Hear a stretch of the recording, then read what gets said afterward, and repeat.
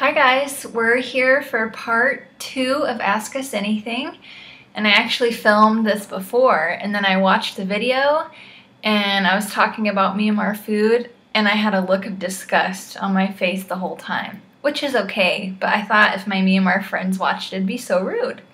So I'm refilming. So today we're talking about Myanmar. So we'll get right to the question. So the first question is, what do you love the most about Myanmar? And I'm going to be honest and say Myanmar is a hard country to live in. Probably not the hardest, definitely not the hardest. But what we love about the country is the people. So the people are kind and they are welcoming and they're helpful and I don't know if you know about the history of Myanmar, but they recently just had sanctions lifted, which means that they have been under a lot of government oppression for years. And so the fact that they're kind and welcoming and still have a good outlook on life, I think says a lot about them. And we also love the teachers at school and just getting to know them because they are Myanmar people. So that's been really fun. So we love the people. Okay, what's the best part of living in Myanmar? For me, the best part, other than the people, is definitely the market where I get fresh fruit and the flowers. They're really cheap here, and I can get those across the street. So it's nice to have that redeeming thing here because a lot of things aren't easy here. Um, so I do like the market. Okay, what is something that surprised you about living in Myanmar?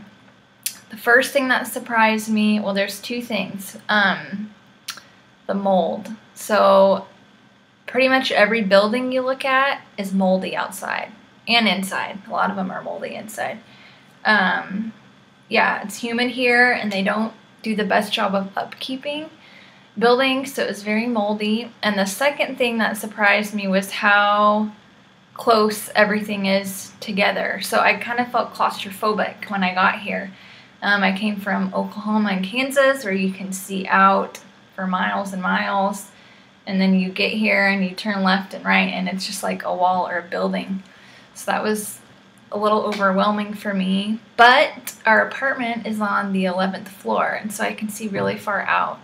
So I think God knew I needed that view, so I'm really thankful for that. Okay, oddities or difference between Burma and home. Okay, so the first one is food.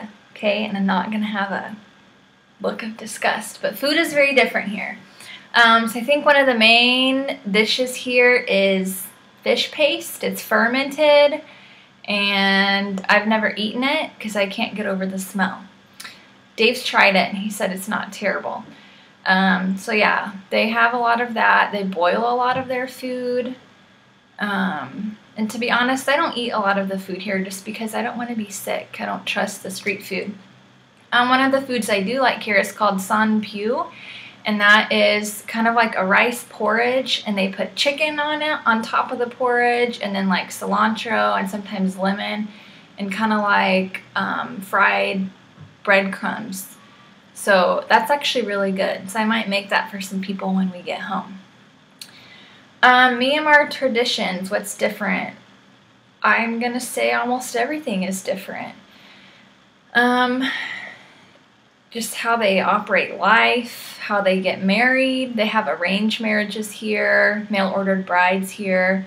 I don't think arranged marriages are bad. I've met some people where it's done from Christian homes and the marriages are actually really good.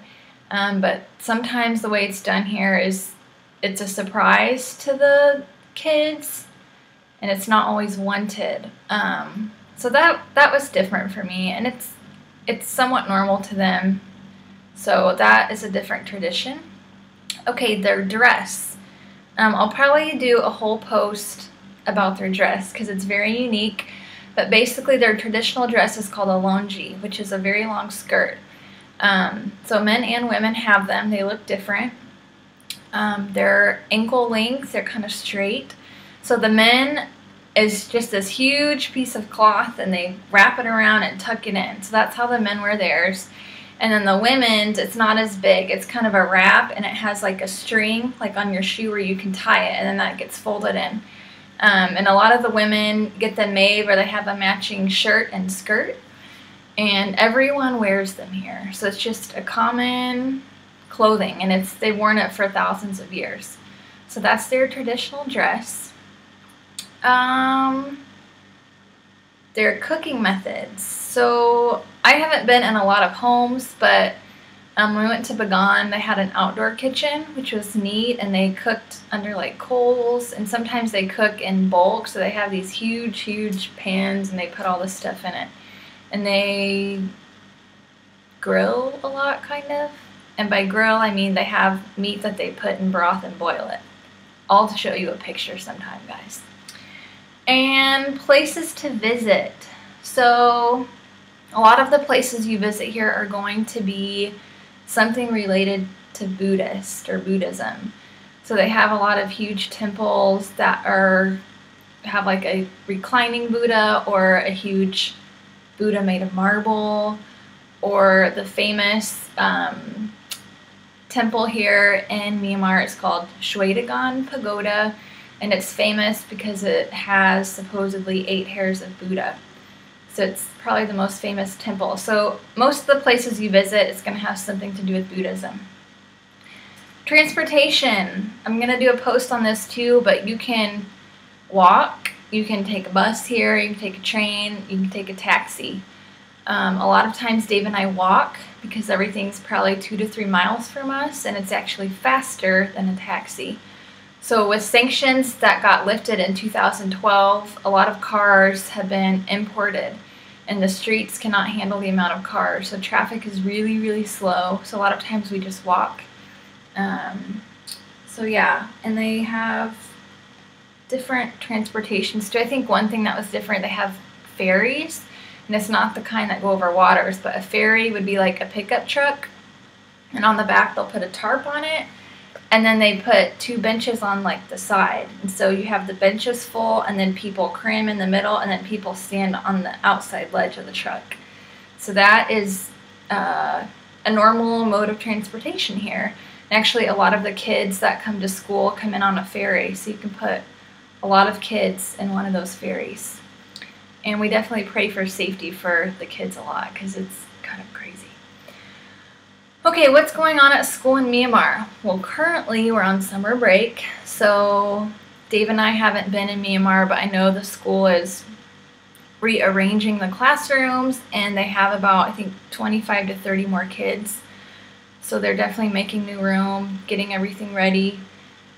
And then this upcoming year, I'm going to have my own class of four-year-olds. So I will teach a class and have a co-teacher and I'll be training her and then I'll slowly phase out and then in November when I'm gone she can just take over. And that will be nice to have too because we'll have to do visa runs and then when family comes in I can just turn the class over to her. Um, so I'll definitely share more about school this year since we've been there more and feel a little more comfortable and have my own class. Um, so that is really the questions that you guys had about Myanmar. If you have any more, please feel free to email me or leave a comment. And thanks for listening.